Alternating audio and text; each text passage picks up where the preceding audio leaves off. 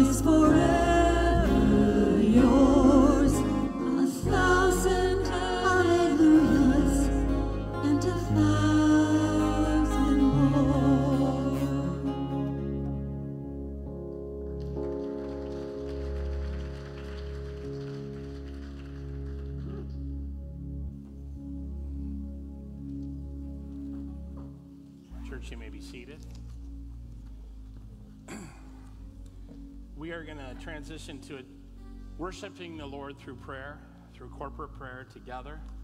What a beautiful, beautiful uh, morning it is uh, outside.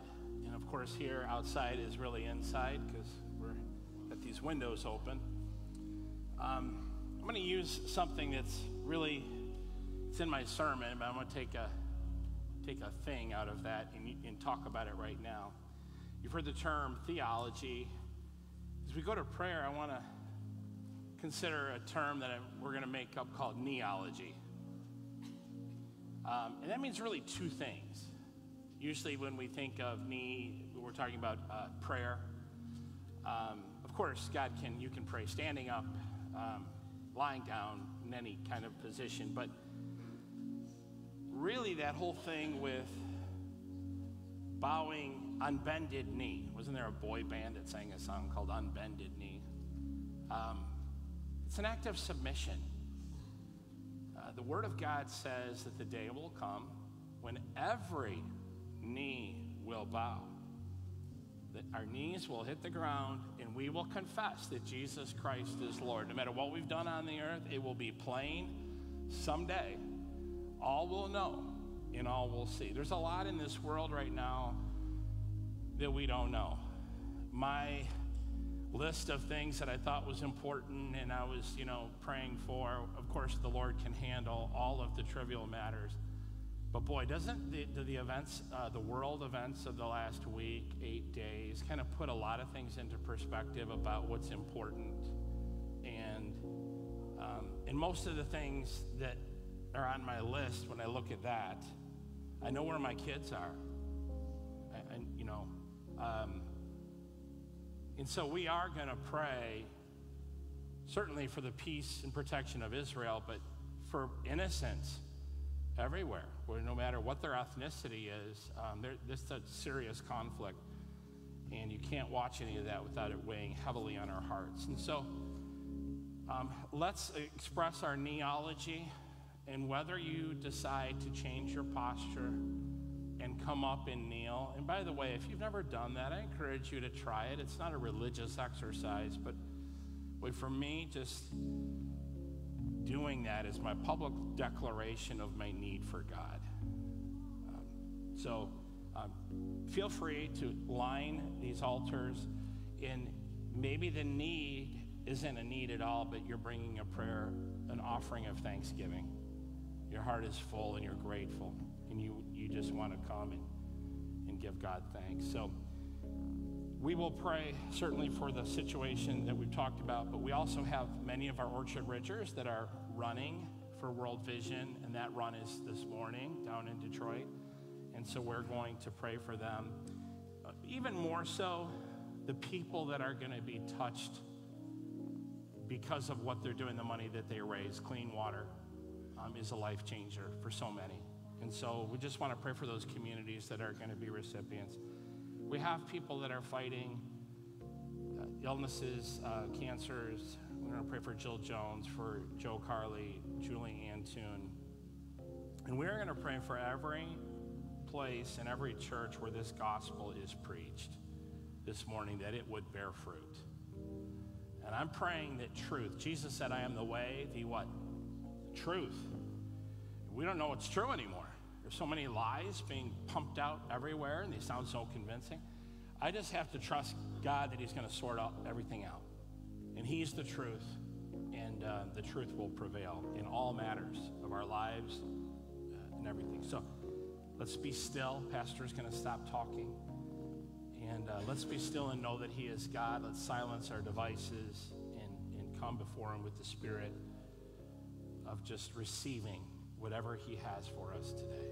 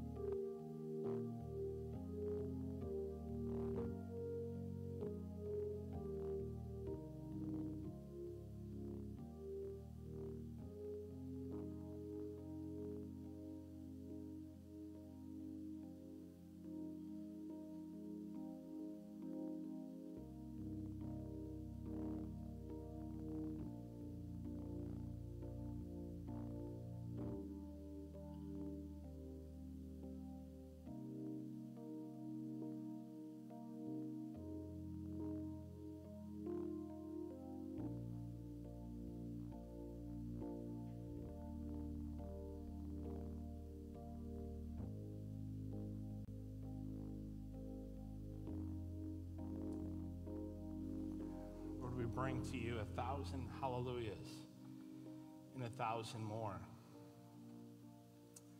Every breath that we breathe, every beat of our heart is a reason to praise you. You are good. So we just pause right now to not focus and not set our gaze on all of the problems, all of the challenges, all of the, the unresolved conflicts. We choose to set our gaze on you, Jesus, and give thanks for the many, many wonderful things that are right, not only in our lives, but in our world. Thank you that your kingdom is growing.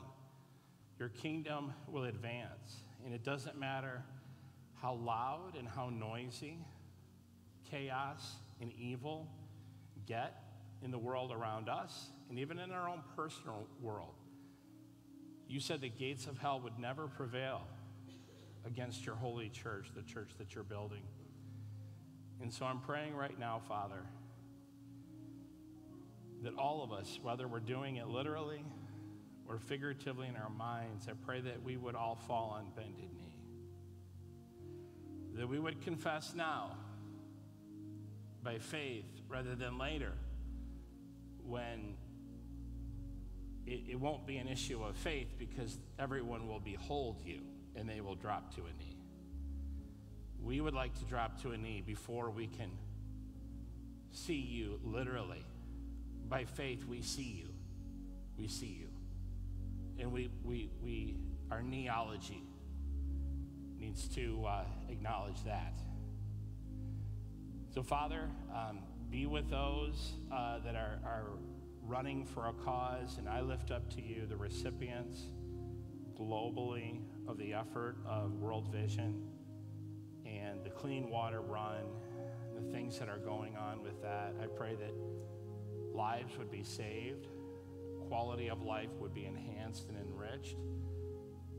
And Lord, I'm praying for the simple gospel of Christ that is not based on secret codes and secret knowledge and um, a long, elaborate list of things that we must say and do, and the simple gospel that Jesus paid it all. And if we believe and receive, we might have eternal life in Him that begins now, not when we die. Thank you for the eternal life that is ours now in Christ. Outwardly, these bodies are wasting away, but inwardly, we are being renewed day by day by day. Within us is a stream of living water that will not ever run dry.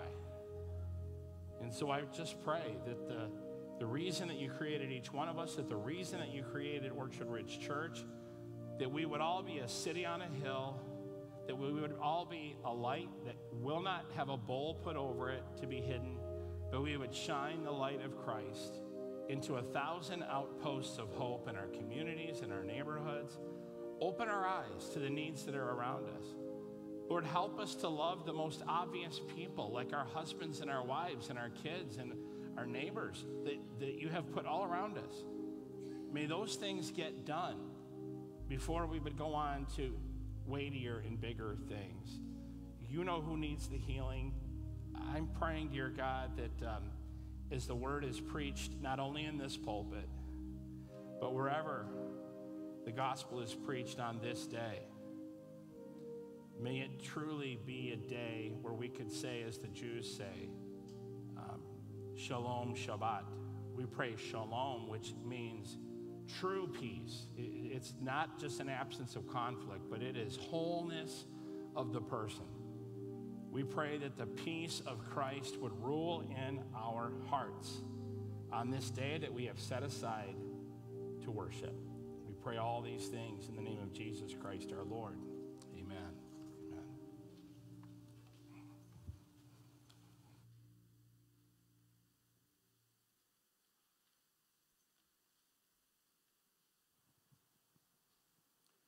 Well, good morning.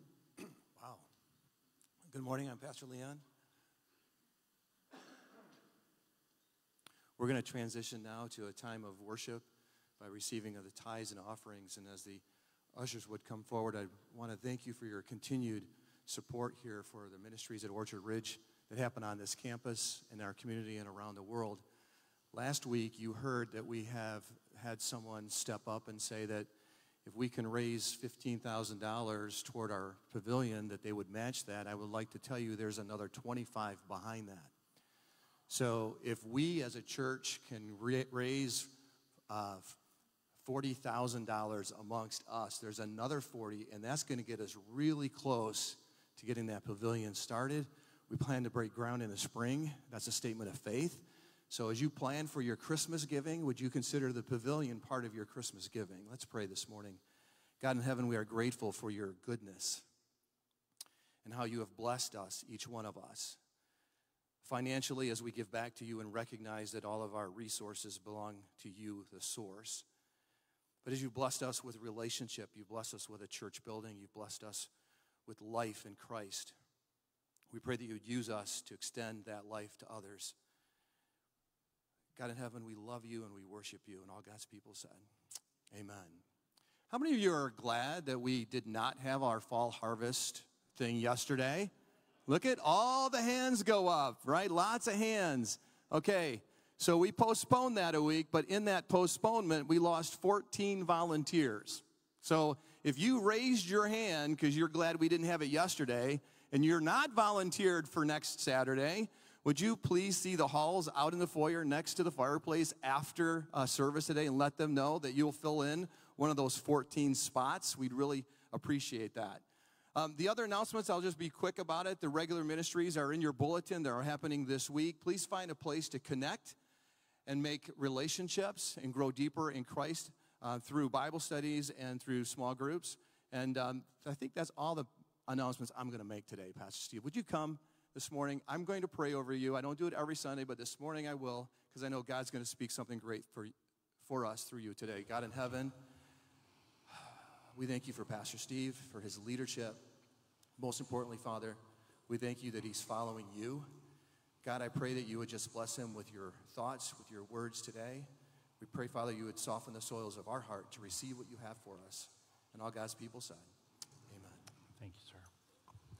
Well, we've been in the book of Colossians. You know that. This is a letter that was written by the Apostle Paul from a jail cell, and he's writing to a church in Asia Minor, which would be modern day Turkey. It's a church he's never been to. He um, is talking to in person, because that's the only way you could do it in that time, right? Um, he is speaking with a man by the name of Epaphras, who is the pastor who started this church. And um, Epaphras is concerned because there's this thing called uh, theologians today they call it the Colossian the Colossian heresy because here are these young baby Christians. You know, and I alluded it to, to this in my prayer, but friends, never forget that the gospel is simple. It's a simple gospel. Jesus didn't come and, and, and, in feet to feed the giraffes. You know what I mean by that? He came to feed sheep. Well, down here. Down here. You keep it simple. I don't got to be so lofty in my theology, throwing around these big terms and whatever. You got to do this and this. Oh, but you got to know that, and you got to, and this is going to happen. That's giraffes, way up high. It's the simple gospel, which is what? It's what he did. It's not what you do. There's a lot of room for what you do after you receive, believe, and receive what he did. On the other side of that, there's a lot to be said about what we do. More importantly, where does the power come for the things that, that are what we do? And so, this, this letter, which we have carved up uh, hundreds of years after it was written into chapter and verse, we're, we're crossing the Rubicon, so to speak. We're going over from the first half, which is the question of who is Jesus. You know, you ever you ever see somebody and you think you know who they are, and then some people start saying other things about that person, and It casts doubts and aspersions in your mind about who they are. You're like, well, I think I know who they are, but you're telling me this, they're saying this. And we come up with this, who are you? And this is where this church is. Jesus. Thought I knew who he was. I, I you know.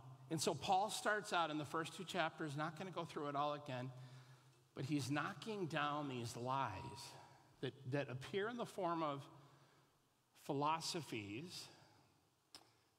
Some are, are Jews that just don't want to give up their old Jewish ways and they want to get every uh, Christian who was saved by grace circumcised and following every Old Testament law and tradition, blah, blah, blah. You've got some, it's a Greek influenced area. And so there is this, this philosophy of asceticism, which is pious self denial. It's like fasting, but uh, it's prideful. It's fasting on steroids. It's like, I want everybody to know, and like that kind of thing where I'm not going to do that. Or you've met Christians, haven't you? I don't do this, this, this, this, this, and they will proudly list for you the, the things that they won't do. There's probably good that, that there are some things that we won't do. But the, the, the spirit in which that lives matters, right? Jesus didn't go around telling everybody, you know, all that. And then there was this philosophy of elevating angels almost to like where we would worship them. And then there was this Gnosticism, which was this, this idea that there was special knowledge and unique knowledge and, you know, only certain people could have. So all this stuff was, was working its way through. By the way, um, the word philosophy, when you break that down, philo, Philadelphia, right, the city of brotherly love. Um, philos is like another form of the Greek words for love. So philosophy is the love of something. And then Sophia, we have any Sophias in here? I know we have some Sophias in our church. One of them had homecoming last night, so she's home resting. oh, we have a Sophia. I went to high school with that Sophia's mom. Her name was Jennifer. Awesome family. I'm going to tell you what your name means. Sophia means knowledge or wisdom. And so philosophy is the love of knowledge or wisdom, and it makes its way into these thoughts. Now, you may be sitting there and saying, well, this couldn't happen today. I don't see any Gnostics at Orchard Ridge. I don't see any proclaimed angel worshipers at Orchard Ridge or whatever, but the enemy is, is sneaky. There are always going to be philosophies that will come and try to complicate the simple gospel. The simple gospel that saves the five year old child as much as it saves the 85 year old child because we're all children. It doesn't matter how old you are, there are all things that we will eventually know and behold. I just want to fly through this. I wanted to do it last week, but we didn't have time for it. These are some philosophies of now. You've heard these things. I know you have. And I want to confront them. And in a minute, we may watch that video and we might not. I'm preaching today, Bob. He's like, do whatever you want to do. I'm ready. Here's one. You ready? Follow your heart. Boy, that sounds good. Can we do the one with the, with the script? There's another, yeah, there we go. Follow your heart has ended more marriages, caused more addictions, mutilated more bodies, destroyed more souls, ended more lives than you can imagine. It's one of hell's most effective slogans. Don't follow your heart, follow the one who created it. I'll say something into that philosophy of follow your heart. It's also, it's tied into if it feels right, it must be right. I mean, it's an exception to this. I know it says that, but for me, like I just, God's telling me it's a special thing between He and me. That's a lie. Don't forget that Lucifer, you know what the name Lucifer means? It means light bearer. He comes to you as an angel of light. Even though he is dark, he will come and present that, this thing as light. And so You can follow your heart depending on what or who is in your heart. If you're listening to Jesus, Christ within, then follow your heart. But the follow your heart thing has got to be leaned up against the scripture. There, there's no exceptions to that. Okay? Now, does it mean that I can't be, you know, if I sin, I can't, there's no, I'm done? No. But there will be consequences. And that's not me saying it. That's a loving pastor communicating that. Philosophy number two that likes to work its way into the church and our world be true to yourself. I think Shakespeare said it, didn't he? To thine own self be true.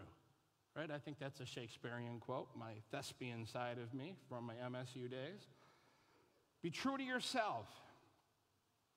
Um, Jesus said it like this Whoever wants to be my disciple must deny himself. Huh. Remember that. Being a disciple, and remember how we ended last week.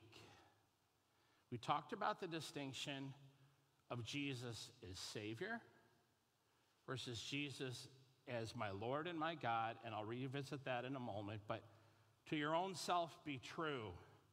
If we want to be a Christ follower, there will be moments, I guarantee you, I've had them, where my heart and my desires wanted a thing, and God said no. And you know what? Give it enough time, and He will always show Himself as to why you were not to have the thing. You got to trust.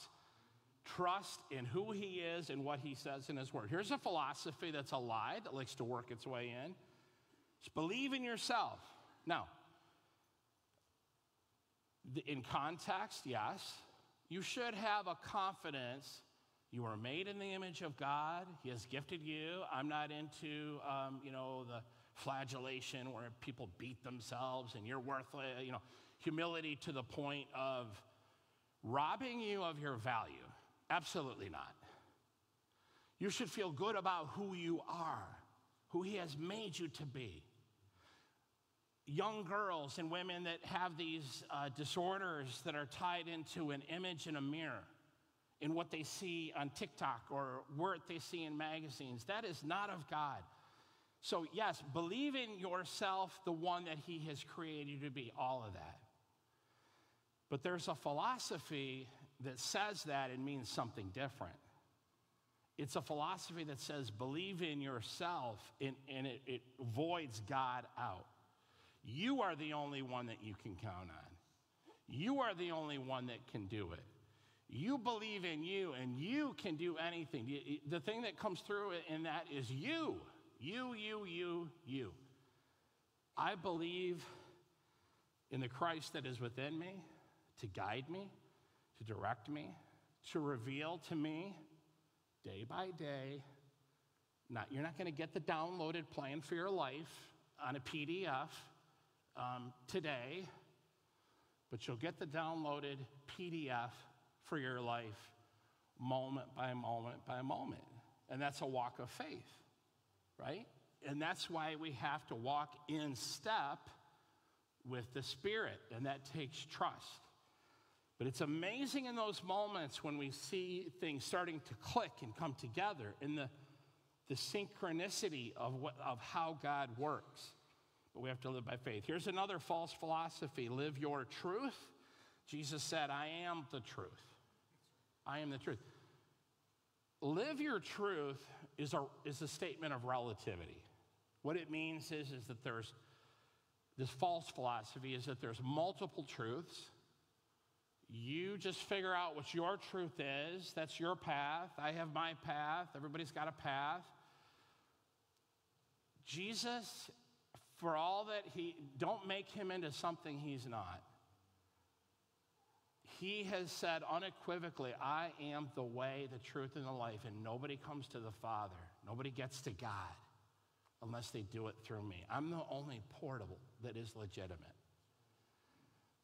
All other ways are, are not, you know, well, Pastor Steve, what about the people that never heard of Jesus and this and that? And the He'll get that right. What are you worried about? Stay in your lane. That's not your lane. Your lane is to be obedient to what He's called you to do. You don't think He's going to do right by those people? It'll all work out. But He's the truth. Last one, and then we'll move on. As long as you're happy, who cares? It's not hurting anybody. I'm happy. Why not? Right? That, that is a philosophy that, that is elevating pleasure as a higher thing than, than principle. I'd rather have my God given principles than just my pleasure. If it's not happy, as long as it makes me happy or somebody's happy. This is what Jesus said in Mark 8 36. What will it profit a man or woman if they gain the whole world, but they lose their soul? You can be happy, you can get a whole lot, but at the end of the day, what you have done, now this, I think this passage in Corinthians is talking about, um, and it's not going to be up there because it's just popping into my head right now, but there's a passage that talks about all of us as believers. It's what you've done on this earth. You're going to pass through what will be like uh, a purifying, uh, like as if a flame. And the only thing that passes through that, that will translate from this life into the next, will be the things that are done for the kingdom of God. Everything that is done for just your own, uh, just pleasure, whatever. And by the way, God, do some things that are pleasureful. I mean, no, we're not a killjoy here. God is the one who gave you a Sabbath. He, he gave you seasons of rest. He, I think He would wish that we would all take more vacations when we need to do that because He can get through to us more. I mean, uh, not killing fun, but it, it's all about, yeah, I think you get it. So these are some philosophies that I just think that we need to kind of be on our guard about. Now, today's passage, because now we're crossing over. Now it's not a question about who is Jesus. If he is the one that is, has all authority, if he was all God and all man, if he truly did rise from the dead in bodily form, this is all in Colossians 1 and 2. And Paul is trying to say to them, you're being confused about who Jesus is. I'm going to clear all that up right now. He is these things. And I'm not going to preach those sermons again. Go watch it. But if he is these things, you are going to have to decide if he is simply Savior. And remember, some of you weren't here last week, but we ended the service with a simple analogy of a firefighter that saves somebody from the burning building and you know you feel grateful. You got pulled from the fire. You might give that person a gift. You might send them a card every, once a year. You, there might be things you do for the firefighter, but you're probably not going to fall down on your knee and start to worship the firefighter. Quite honestly, that'd probably make them feel a little weird too. Um, but that's a savior. Don't confuse. A lot of people have Jesus as savior. He saved you. He's fire insurance for when you die, you don't want to go to hell. He saves you out of circumstances. I'm in a jam. Call Je- what are you going to do? Hit the red button and call Jesus. He's my savior. But don't forget Thomas, who fell when he saw the resurrected Christ. He fell down and he said, My Lord and my God. And Jesus said, Get up. Now stop doubting and believe.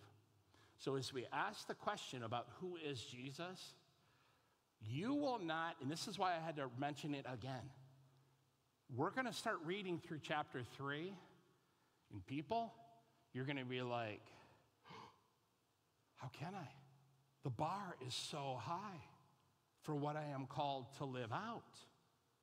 See, there's a process, there's, there's the head that has to go to the heart, and then it has to go to the feet into the hands, into our mouths that we confess. Um, you will not have any success, and don't even try living out Colossians 3 and 4 without the help of the Holy Spirit. Just won't. I mean, in fact, the opposite might even happen. You might have your Bible with you, highlighter ready, you're rocking and rolling. Yeah, I'm going to do this Christian thing. But and it's in your head and it's in your heart. You want to, but you're going to go out there and try to live it. Theology, kneeology, and then there's beology. You got to be it. Hey, nothing wrong with uh, the, the bumper sticker that tells everybody how much you love Jesus. If you're into tattoos and that's your thing, it's not my thing, maybe it's your thing, and you want to tell everybody how much you love Jesus on your skin as a canvas, and you got a cross and a verse and all that, that's fine. That's not your biology, though. At the end of the day, you got to live it. It's not what I just post on my personal Facebook page. It's not just what the things, the slogans, and the things that I put out there. I got to live this thing. Proof. You want proof? Let's, let me give you some proof. I'm not just saying this, this is, this is Christ. Go to 1 Peter 2.21. Peter spent some time with Jesus. He understood how it worked. He said, to this you were called. You walking with Christ is a calling. Never forget that. It's not just a decision of which faith you're going to be. To this you were called because Christ suffered for you leaving you an example that you should follow in his steps. It does matter what I do. I'm going to do a wedding this afternoon, 3:30, young beautiful couple. And they're going to say vows. I've said this before here. I'm going to say it again here. They're going to say a lot of things of all that they're going to be to that other person.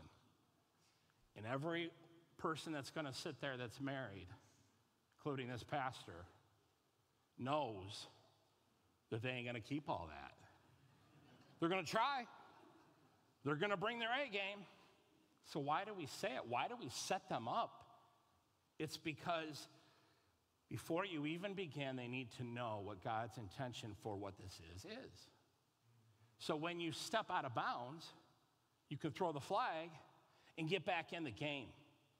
See, if we don't say any of that, it's just it's ambiguous. It's it's like, well, how do I know what's right then? I got to know what's right and wrong. And so Colossians 3 and 4 and these things are there to say, this is what I am calling you to be. You have been called, Christ has given us the example so that we should follow in his steps. And by the way, you won't be this side of heaven sinless, meaning like Adam was before the fall but you will sin less, a whole lot more less. See, the flesh will, as soon as God helps you get victory in one area of your life, the depth of our depravity is such that here comes another thing.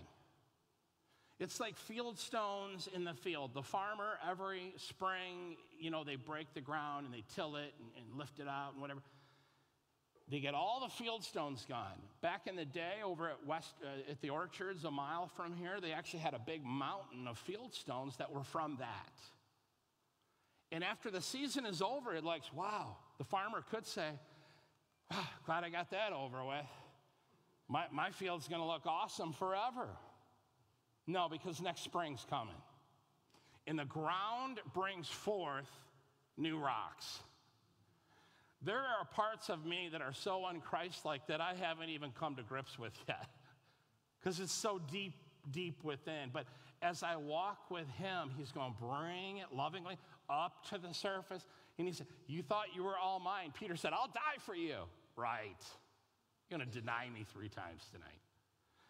When I get victory over one area in due season, He's going to say, All right, now we're going to give you, we're going to start working on. Whoa, I didn't even know that was in me.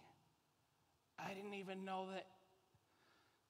Do you get it? This is, this is how it works. Now, First John 2 3 through 6 says this We know that we have come to know him if we keep his commands.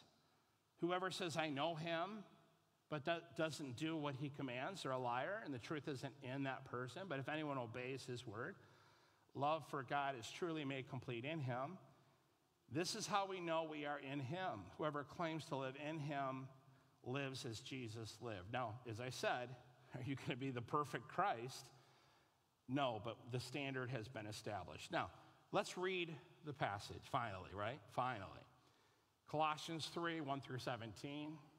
And as we read it, I needed to set all that up so that you know the framework of where we're going. So now we're crossing over. Now it's practice. Paul is saying Jesus is those things. Now, this is, if he is those things, here's what you need to be and do. Since then, you have been raised with Christ. Set your hearts on things above, where Christ is. Seated at the right hand of God, set your minds on things above, not on earthly things. For you died, and your life is now hidden with Christ in God. When Christ, who is your life, appears, then you also will appear with him in glory. Put to death, therefore, whatever belongs to your earthly nature sexual immorality, impurity, lust, evil desires, and greed, which is idolatry. Because of these, the wrath of God is coming.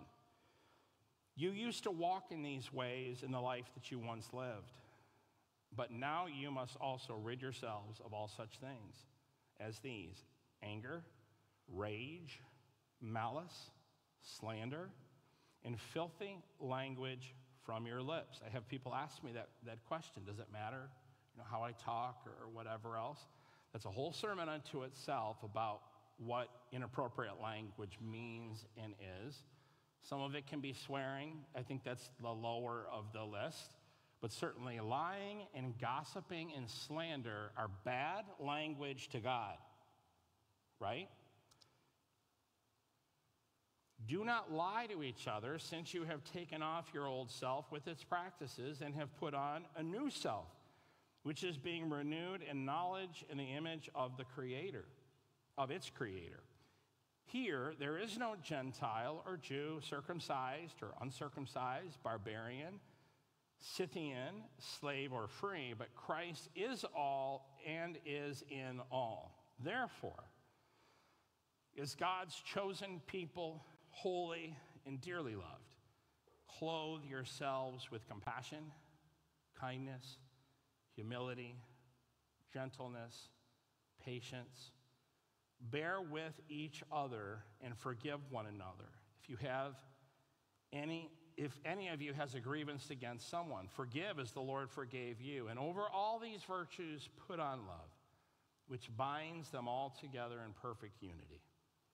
Let the peace of Christ rule in your hearts, since as members of one body you were called to peace. And be thankful. Let the message of Christ dwell among you richly as you teach and admonish one another with all wisdom through psalms, hymns, and songs from the Spirit, singing to God with gratitude in your hearts. Wow, what an anthem verse for our praise band wisdom through psalms, hymns, songs from the Spirit, singing to God with gratitude in your hearts. And whatever you do, whether in word or deed, do it all in the name of the Lord Jesus, giving thanks to God the Father through him. I went this past week and saw, uh, Brett and I went and saw the Romeo Family Theater there, the one in the strip mall. Um, the movie The Blind. Okay, it's the, the Phil Robert. I'm not a hunter, but you know, the Duck Dynasty people and the quack quack things that have made them millions of dollars. And it's the story of Grandpa, I think it's Phil, I think that he's the older one. It's his story of conversion. And, and the, the, the title of the movie, The Blind, isn't, isn't about somebody going blind. I kept waiting in the movie, I'm like, who's going to lose their sight here? But, but I'm not a hunter. The whole thing's in a discussion from a blind. It's two hunters and they're blind. And it's this conversation that they're having, and he's retelling the story of how he found Christ. It's a beautiful story. But the thing in that story that, that stands out, like, he had a, a bad upbringing. Um, he's not alone in that story. Friends, you know, if you've had a bad upbringing, I hope as the body of Christ, we can sympathize with you, and in some cases, we can empathize with you. But do not accept the lie that that's the end of your story. Don't play the victim. You have been given all of the resources of heaven at your disposal to be an overcomer of any kind of a background. This is why God gave us each other. He gave us the church to mutually encourage one another. Nobody in the, you know what God's answer is for loneliness? You know, my whole, yeah, if you desire to, to find the love of your life and all that, um, what a wonderful thing this afternoon that two people found each other and they're going to, you know, start a family and do all those nice things. That's, that's beautiful. But that's not everybody's story. What's God's answer for a lonely person? I've thought long and hard about that. It's the church. Some people are lonely, by the way, in their own marriage. So let's just get that out of the way. You got this. He gave the body of Christ to us to fulfill the longings for companionship, albeit asexual. Um, but I got this. And then pets. he gave us that too. Okay. Um, all right, circling back to this. Where's my, oh, good, I got a little bit of time. I love it. There are some things that jump out to me in verses one through four.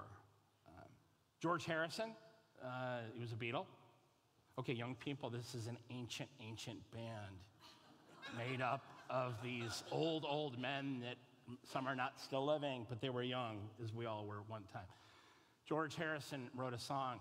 No, he didn't write it, he covered it. He took a song that had already been written in 1962, and in 1987, he did it, and it was pretty successful. Um, I got my mind set on you. Remember that one? I got my mind set on you. I got my mind. That one? Yeah. Well, you look at the lyrics, it's a simple lyric, but he's basically trying to get the girl that he's got his mind set on, and he comes to the conclusion to get this job done, it's going to take a whole lot of money, a whole lot of spending money. Remember that, right? And it's going to take patience and time and all these other things. You know what? This Paul here, not his bandmate Paul, this Paul, the Apostle Paul, is saying, set your mind, set your minds, before I tell you all that you're going to need to be, get your mind set on things above. And he uses two things. I love it. Set your hearts on things above, where Christ is the heart, what is the heart? It's not the beating, we, we do that, but it's not, it's not the organ. It's that chamber of your innermost being where your affections and your deepest held hopes and dreams reside, which is probably up here. But wherever that is, that's your heart. He's saying, set your hearts on things above because everything down here is wasting away. That new car that you just bought from one of our car salespeople at this church is no longer new. It's a used car as you drive it off the lot. Now you're driving a used car.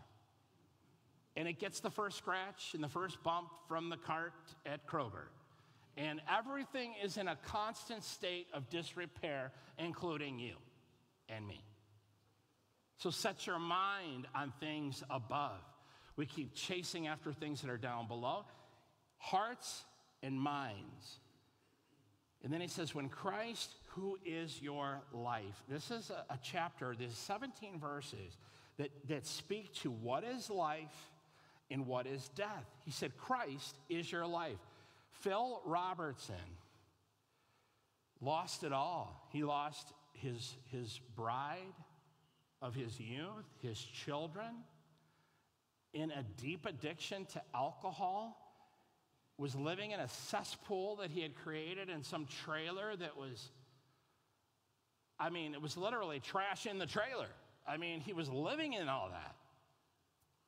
And a pastor who cared got involved in his life. And it's just a beautiful scene in the film where they show him going in to the water of baptism which was down in Louisiana, and I was fearful of what was going to get him as he was getting baptized. And here he is in this swamp, And the pastor, and he, and he speaks and he says, I am dead to the old man.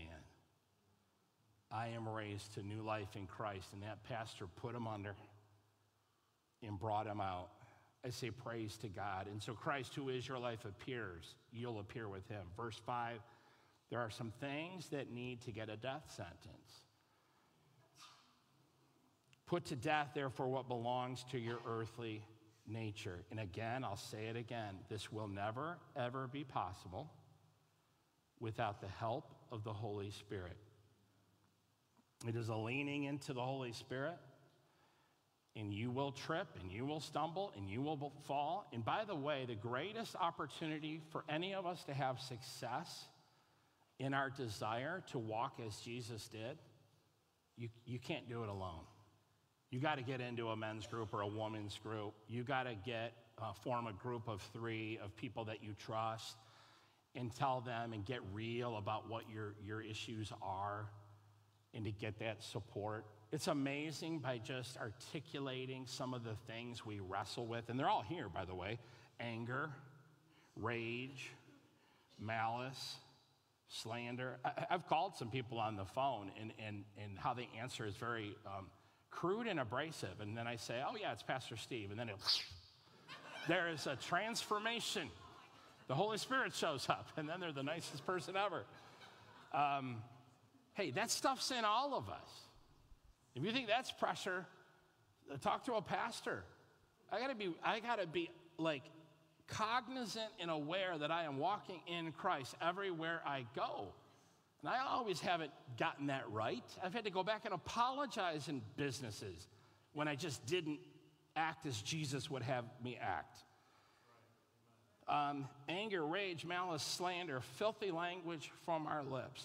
The first step of being like Christ is coming to Him and admitting that you are not. Humble. Lord, man, I want I see you. I want to be you. I'm not you. Would you put me under new management? Would you put me under construction? We got some more field stones, Jesus.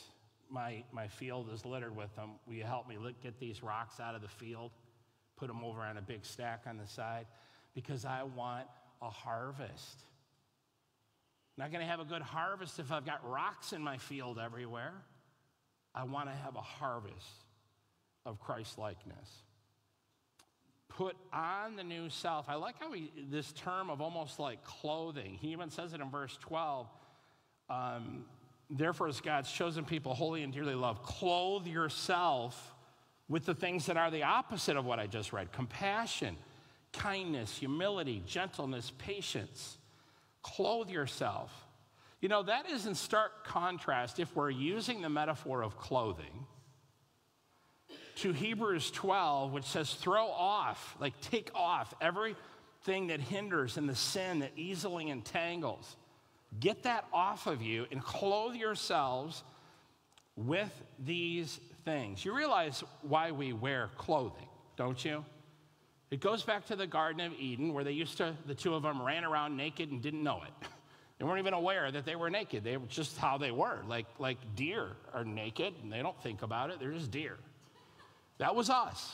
That was us running around like that. But when sin entered the picture, there was a knowledge, there it is again, that, that the knowledge of good and evil, they were aware of their nakedness. And what did they feel? They felt what you would feel if you were naked right now a whole lot of shame.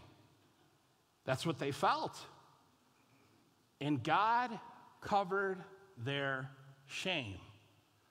In a foreshadowing of Christ on the cross, an animal was killed skins were made, and a covering to cover their bodies was, was given to them.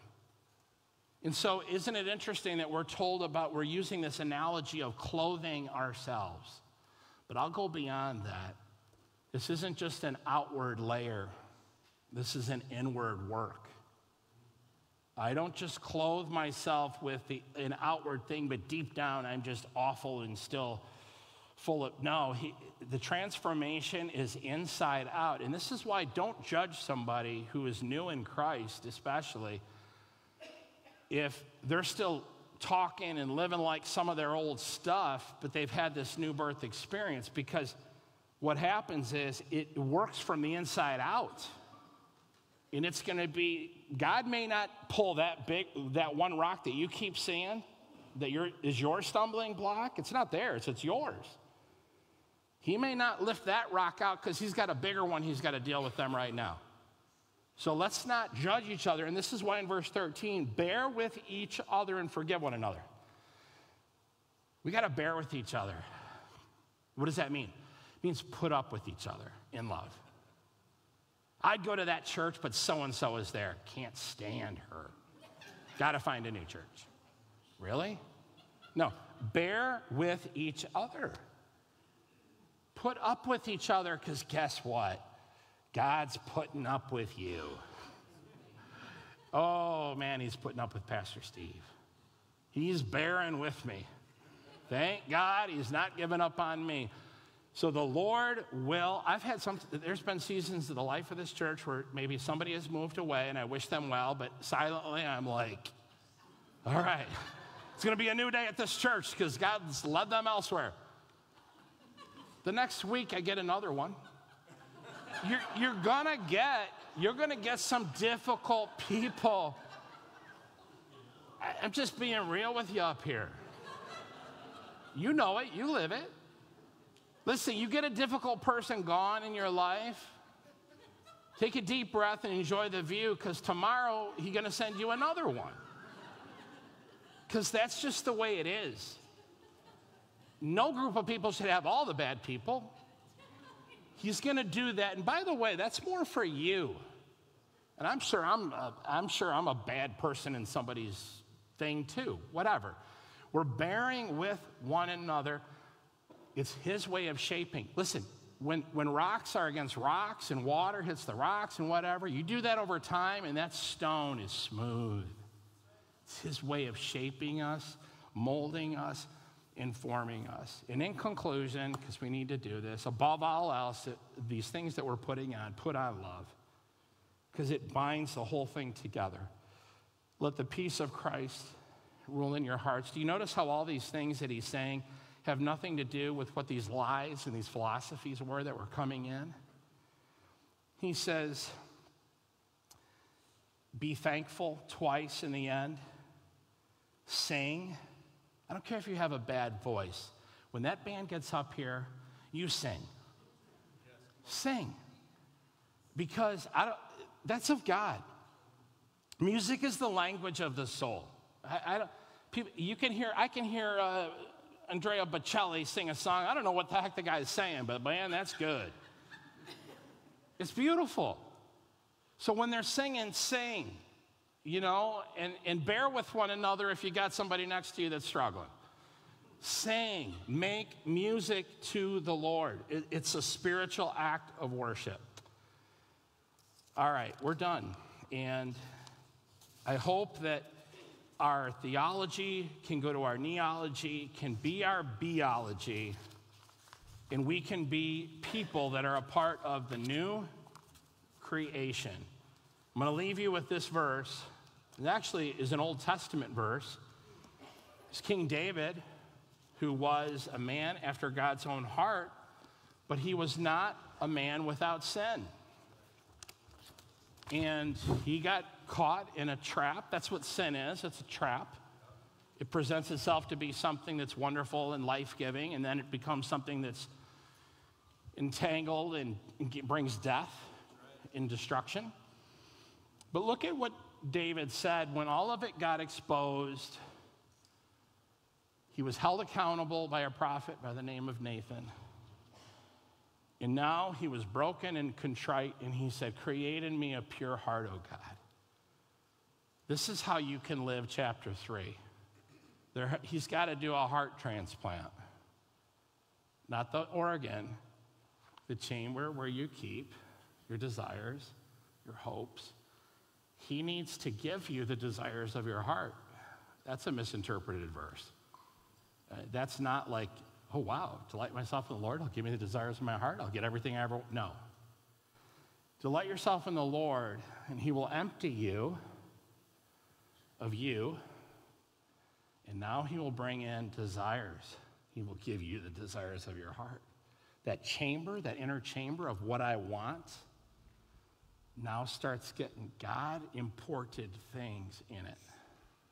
And he's giving me the desires of my heart. Do not cast me, David said to the Lord, from your presence. I need you.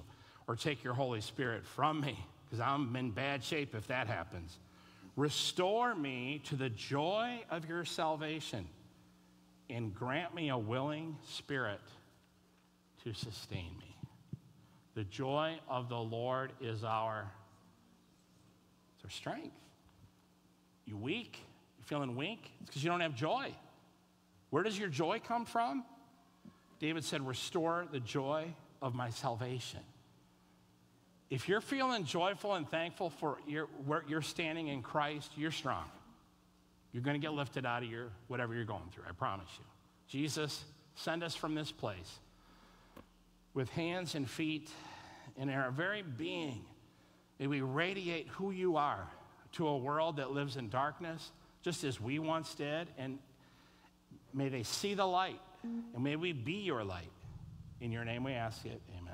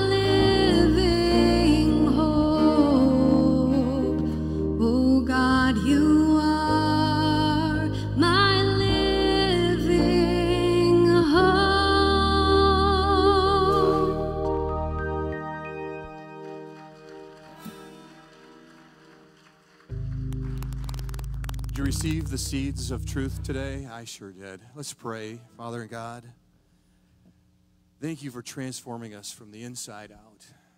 Thank you for the work that you're doing in each one of us. We pray, God, now as we leave this place, that you would go with us, that you would help us, help others to reach the throne of grace. Help us to put on the clothes of compassion. We love you and we worship you. And all God's people said, Amen. Remember, sign up for helping out on Saturday before you leave out in the foyer. And thank you for coming today.